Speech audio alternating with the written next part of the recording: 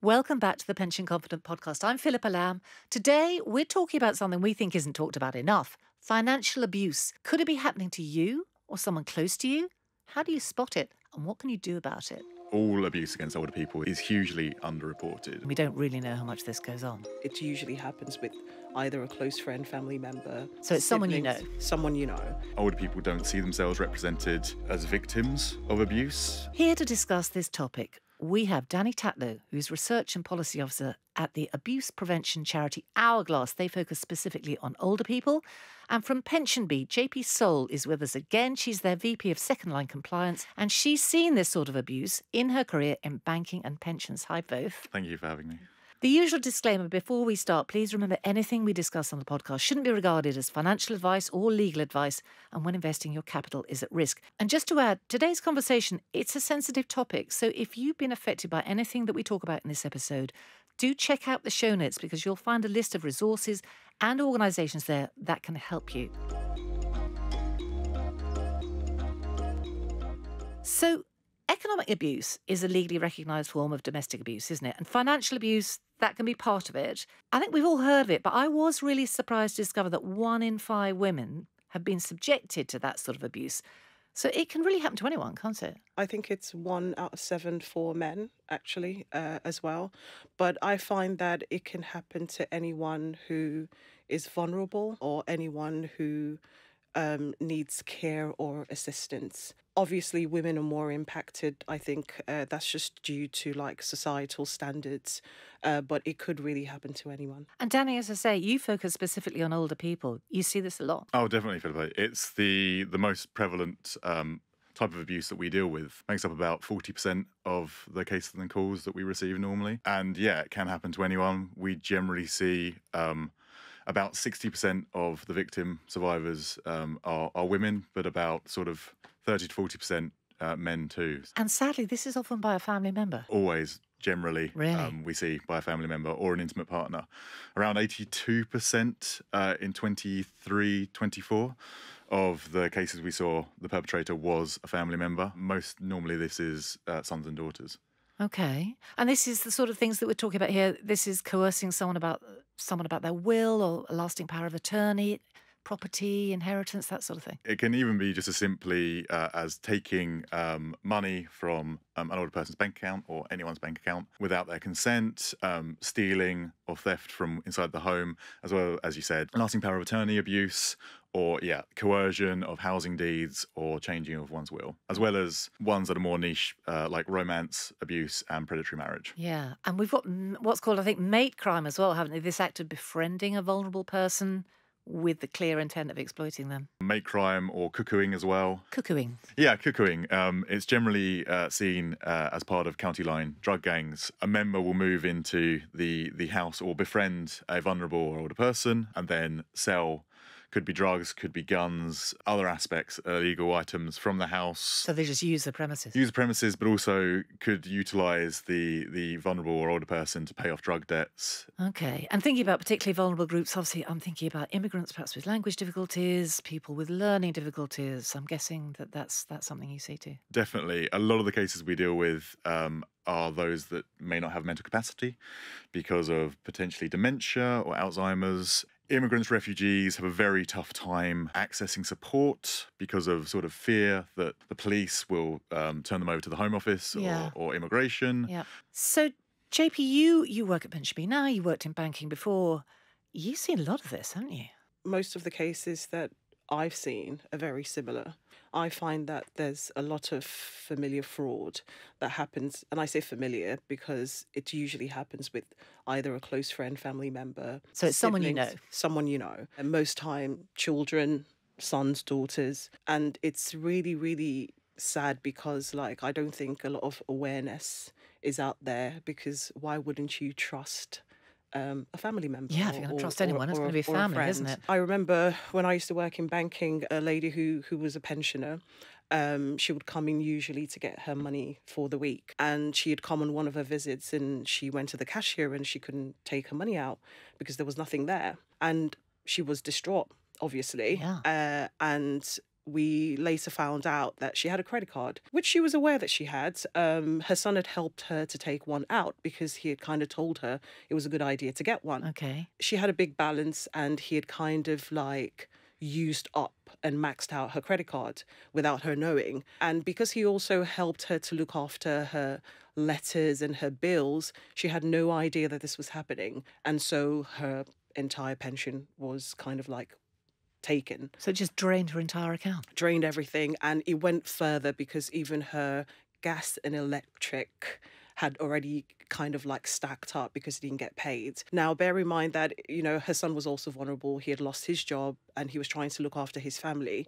But nevertheless, he put his mum in a very terrible situation. What happened? We worked out a repayment uh, plan for her. I mean, how much was it? A in. lot of money. It was about five thousand, and obviously interest had gone on top of that. So we we worked out a very very menial amount that she would repay every month, and that allowed her to still be able to eat. I went as far as at the time because I felt so sorry for her, calling uh, British Gas as well to kind of like Yeah. get a payment plan sorted for her and explaining what had happened to her. That was so sweet of you. She must have been. She must have been horrified. she was horrified. She was in tears most of the time, but I think within like two weeks, she, I, I was able to put a smile back on her face, and she was she was okay. But was- she didn't bring charges against her son, did she? no, unfortunately not. And and I think that's usually the challenge uh, when it's a, a close family member or a friend is that emotions get in the way. And although it was reported to the police, she decided not to press charges. So her son didn't actually get reprimanded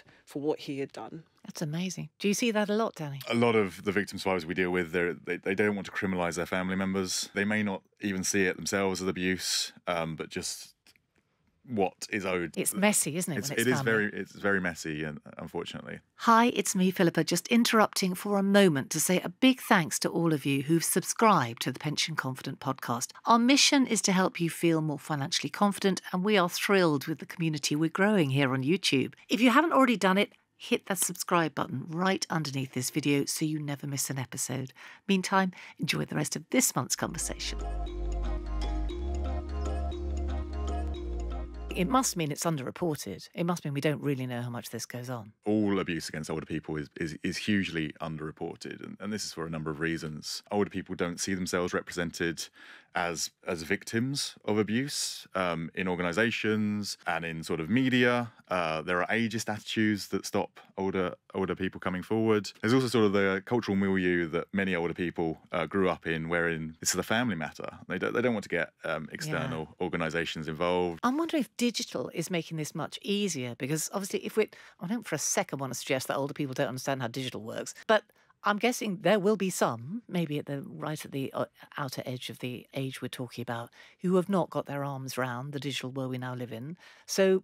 Banking and financial paperwork. If their family members take that on and do it in a, in do it online, and there aren't letters coming through the door anymore, that must make it easier because they they really do completely lose control, don't they? They don't know what's going on with their money. Yeah, there is definitely a fear that the, the digital divide uh, is is ever expanding, and that's making abuse easier. With the closure of of high street bank branches and the worsening ability to be actually able to talk to uh, a human member of staff rather Yes. than AI or a chat bot, it is it's hard. It is much harder for for many older victim survivors to to realise where their money is going. Yeah, because back in the day, you'd walk into a, br- a bank branch, wouldn't you, and talk to someone. But I mean, particularly mobility issues, transport, public transport, all that sort of stuff. That's not an easy thing to do, is it? There isn't always a local branch. No, and this is sort of linked to to other aspects that austerity uh, has led us. Uh, the sort of the worsening of public transport routes. It's much harder, really, for rural-based Yes. older people um, in order to get to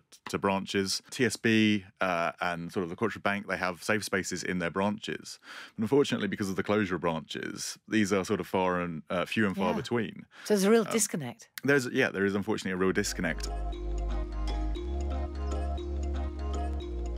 Well, see, we think about consequences. Some of them are going to vary, aren't they, depending on what stage of your life we're talking about. I think we can kind of see where perhaps for older people um, the outcomes might be. But at worst, presumably at any age, I mean, this can take you to a place where you're unable to afford the basics that you need to live. we see sort of post abuse um, effects ranging from mental health issues, depression, PTSD, anxiety, a withdrawal from society. But there's also, especially for older people, but for all victims, um, the potential for physical based health effects as well. It can even lead to premature premature death, unfortunately, as well as you said, Philippa, the the economic um, effects. Whereas it might be the increase of debt that they're, they're not able to get rid of, the loss of their house that they may have lived in for a long time, or affecting their pension. Yeah, I mean, Jaypee, this is what you're talking about, isn't it? Thinking about debt. You know, if you're in debt and you're just not in a position to pay it back, that's going to put you at risk of of worse outcomes, isn't it? Because then you may have to resort to you know, lenders that you really ideally would not be approaching, paying elevated levels of interest on the loans that you then have to take out. I mean, I'm interested to know what the law says about this because obviously theft is a criminal offence. If you've got someone literally taking your valuables and selling them, that's a more straightforward, though albeit terrible situation. But financial abuse, I'm guessing that can be harder to pin down because it can get a bit he said, she said. Is that how it goes? And so harder to actually take action, legal action, even if a victim wants to. It can be, like you said, Philippa, a lot of these issues come under uh, existing uh, criminal law, theft, blackmail, uh, criminal damage, aspects like that. Yeah. Also, with under the uh, 2021 Domestic Abuse Act, economic abuse was was listed there. Also, recent legislation around coercive control. Yes, because that's quite recent, isn't it? that is quite recent, and yeah, a lot of the times it can be um, sort of difficult to pinpoint what is going on, um, especially as we said when it's a family member, and wherein an older person or any victim may see, um, oh, it's just a, a family taking what is going to be theirs anyway.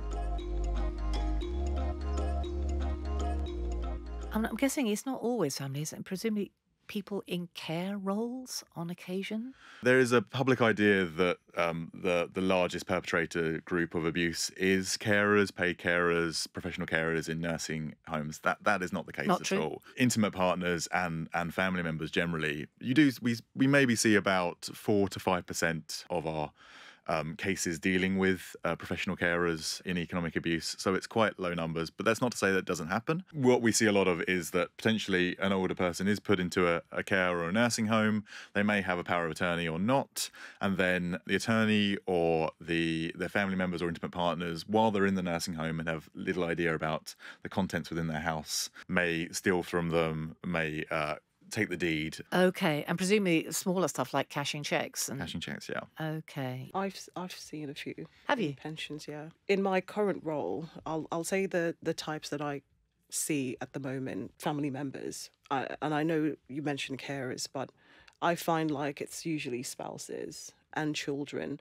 So when the customer is vulnerable and they need assistance or they need help, they usually l- seek help from whoever's closest to them and they trust them with things like their passwords like access to their emails Right. bank accounts letters and sometimes it happens right there in their home i've seen situations where a customer has been really ill and so he had to rely on his neighbor to kind of help him sort out his finances and a lot of his funds were being moved over by the neighbor Out of his pension. out of his pension. There- There's several cases we've had children like sons. There's one I remember very clearly. The son uh, was also very vulnerable, had uh, a gambling addiction, while helping his dad manage um, his pension, took out quite a lot of it. And it's difficult because sometimes people have joint accounts with their loved ones. They have joint accounts with their children, their spouses. So it's hard to know if something bad is going on. It is hard to know. And again, people don't press charges. They report to the police, but they don't take any action afterwards. And the police can only help you if you allow them to do their job. But most people, they want to keep it in the family and they say, like, this is a family matter. So firms that provide financial services, they put in place anti-financial abuse controls. What sort of measures can you put in place to protect customers?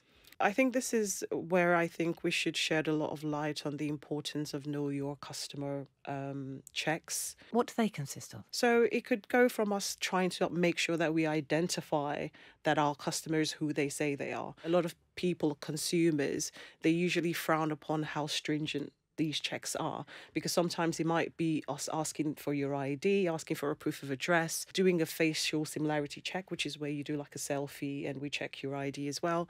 And people frown upon it because they're like, well, I'm it's me. Like, why why are you checking And it me? takes time. Yeah, Yeah. And, and it takes time and, and they don't really like it. When fraud happens, I've had experience with people saying, Well, what did you do to protect my money? Did you do your checks? What I would like people to do is to be more open and embrace these checks that we do. So, although sometimes we kind of sense it as you, we will check and make sure before we hand your money over that you are who you say you are. See, this is interesting because there is a UK finance financial abuse code of practice, isn't there? So presumably There this, is. this is part of all that. Yes, there is a code of practice. Um, it is part of it. I think all firms, I mean, there's so many regulations that we're bound by to make sure that we can mitigate the risk of financial abuse and we're able to protect our customers. The consumer duty, the recent one, is is definitely a huge one that I know like a firm like PensionBee conforms to and by making sure that we're protecting our customers. But also we know that there are lots of vulnerable customers. So there are regulations around how you can treat your vulnerable customers and how you're supposed to support them and help them. And then there's financial crime regulations as well that help us to put controls in place to kind of avoid these things happening. It's interesting what you say about people kind of pushing back on the whole, you know, proving their identity thing. Because like, we've all been there, haven't we? When you're applying for stuff, you know, how many, how many of these things do you need? I've given you this, I've given you that. You know, really, do we need to do more? But as you say, it's about framing why. Because I think when you're on the receiving end of that, you're thinking it's about me. But actually, like, actually, it's kind of not about you. It's about what else might be going on around you or other people around you. We're keeping you safe from things you might not even be aware of. we're safeguarding your funds. We have a responsibility to make sure that your money's safe. So we will take every step that we need to to make sure that we're keeping it safe because we're accountable for anything that happens to your money. So we need to take the steps that we need to uh, to ensure that you know it doesn't get into the wrong hands. Should we move on to what people can do to protect themselves? Because obviously, the ideal outcome here is that it doesn't happen or it happens less. I mean, I'm thinking around things like financial services. That's got to be about the basics, like keeping your login and details private. Absolutely. I always say, especially like um, with like digital firms or firms that deal online, some people have joint emails um, they share with their spouses, their children. It's better to have a sole account where you only have access to. And if you do share access with somebody else, it's important to keep an eye on what happens in your account. Have notifications set up on your phone so that something pops up when anything changes on your account. So it's keeping your login details secure. Personally speaking, I'll say don't share your email with anyone and, and keep that sole access to yourself. Yeah. And check in regularly on your bank accounts, check in reg- regularly on your pension accounts. It, it could take about a few seconds a day. Just pop in and have a look because you might catch something and be like, wait, that doesn't kind of looks right. I think most people don't know you can get support from the firm themselves because you can ring in and ask for support directly and say, look, I don't know too much about the internet. I don't know too much about checking my account. Can you tell me what's going on?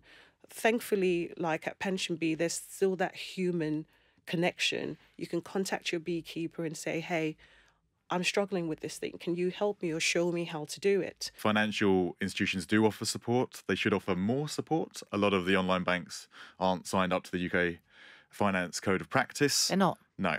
Okay. Um, Why not? You think that would be a no brainer, wouldn't you? You think it would be a no-brainer? I, I, I can't answer why they're not signed up to it. so but something to watch if you're picking a bank, something presumably. definitely, definitely. Um, actually, Hourglass. Well, after this has come out, and we'll have released a report around uh, the most accessible banks to use for um, older adults. Okay. Well, if you let us have a link to that, we'll put it in the show notes. We'll do. Thank you. I'm interested to know how we spot this because this is a thing that can creep up on people. I think if it's happening to you, maybe it feels normal. If it's in a relationship, you know, our own stuff always feels normal to us, doesn't it? Maybe we don't feel like we're being coercively controlled. What should we be looking for in our own lives and maybe in the lives of people who matter to us that will be red flags around maybe this is going on? the consumer or the customer not knowing or having information about their uh, finances or not knowing what's happening or not even knowing whether they had an account in the first place Okay. um, yeah. or not. So it's that having no knowledge or no information about their finances. It's about loss of agency sometimes, isn't it, as well? You know, having someone who's always just, you know, taking care of the money, taking care of the finances, and somehow you don't really know what's going on. And a lot of people in relationships, domestic relationships, there's often one person who does that, isn't there? It gets handed over, like the washing or the That cleaning. is You know, one person does it. That is so correct because um, I find what I've noticed is one person deals with all the finances, and sometimes you'll be on the phone to a customer um, and they'll say, Speak to my partner. They don't even know any of their information at all. Perhaps this might be a reason to kind of learn a bit more and not solely rely on the other person Yeah. for that information. I mean, you don't have to be doing it, but you need to understand what's going on, don't you? Yes. Just kind of check in now and again with your own accounts, just see to what's see happening. going How do most cases of this come to you, Danny, at a charity? It's a mixture, really. We we see a lot of um, cases where there's been a lasting power of attorney brought out. Obviously, um, for that to happen, the person taken out has to have mental capacity at the time it's taken out, and then potentially the the the attorney that they've chosen then um, then commits abuse, maybe takes more money than than is just for um, just for the the person the the victim or treats themselves because they feel that they've worked they've worked hard as an They attorney deserve it. and they then they deserve it Mm. the the victim may have have lost mental capacity in this time as well so that makes it even even harder um, so we see a lot of lot of uh, cases around lasting power of attorney Who Um, approaches you though? Is it is it the victim or is it friends the victim or how do you actually get to hear about it? we generally see about 70% of, of calls are from um, what we deem concerned others, be they friends, strangers, other family members, and then about 30% are the victims themselves. But if someone comes to you and says, "I'm worried about my neighbour," I think maybe the you know family member is draining their bank account. What what can you actually do about that? Well, we'd give them a, a number of options. Obviously, if they feel that their their, their neighbour is in, in real danger, we'd suggest them to, to call the police. A lot of times, older victim survivors don't, as we've said, don't want to go down that route. So then we'd tell them about their, their local adult safeguarding team, which the local government runs. Other organisations, the OPG, if which is the Office of the Public Guardian, which is responsible for uh, investigating um, abuse around power of attorney. If they are local or in areas that we have frontline staff, we may use an IDVA service, which is uh, an independent domestic violence advocate, to sort of talk to them to, to, to work them through their abuse. Okay. And also, as Jaypee has said, to, suggesting they ring their bank. Um, as I said, a lot of banks, banks like TSB even have flee funds where they will um, give money to victim survivors of abuse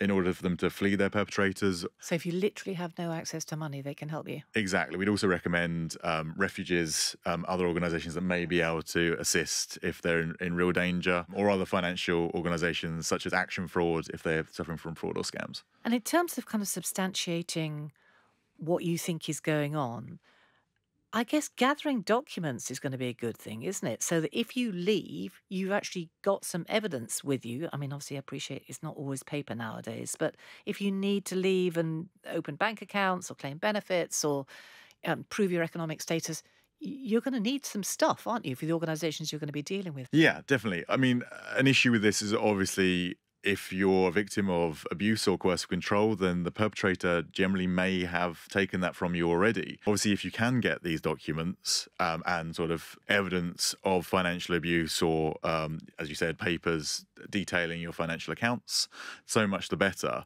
But a lot of the time, it's, it's so much better to to go to an organisation that can then help you, even if you can't get this paperwork, and just sort of escape from the the perpetrator themselves. Obviously, the most important thing is is keeping victim survivors safe and getting them away from that abusive situation, even if they don't have the paperwork with them. Yeah, putting a stop to it. And as we say, awareness and prevention is the key here, isn't it? Rather than dealing with the consequences. And I think if we were to just kind of loop back to that again for people to think about, that you should just never not know what's going on with your finances. Is that right? That's correct. I, I, I, I cannot stress it enough. Always keep an eye on what's going on, Even if it's people you love. even if it's people, especially if it's people Well, you that's very love. cynical. That's too cynical. I'm not saying like don't trust a good family member or close family member or a friend. But it's self care, isn't it? It is self care because people might be going through challenges themselves. They might be going through vulnerabilities themselves. They might not be doing it intentionally. They might not be able to help themselves. So I, I think it's important to always keep an eye on what's going on. Make sure you're not sharing your password. If it's your home, why would you want to hide your passport, your actual I, I, identity cards away? But keep it in a safe place. Not everybody needs to have access to your passport. Not everybody needs to have access to your uh, driver's license. And I'm saying this more particularly for older consumers. If somebody puts a phone to your face, they might not always be taking a selfie for fun. They might be validating a KYC procedure. So just be conscious, not not to be I'm not trying to scare anybody, but be conscious that this can happen and make sure that you're keeping an eye on your finances, your bank accounts, your pension accounts. Set up alerts. Alerts are really good now. You can set it for as low as even a pound. So if something moves in your account, you will know about it straight away. You away. would know about it straight away. Set up 2FA, so two factor authentication, which means it will come to your mobile phone before anybody can log in.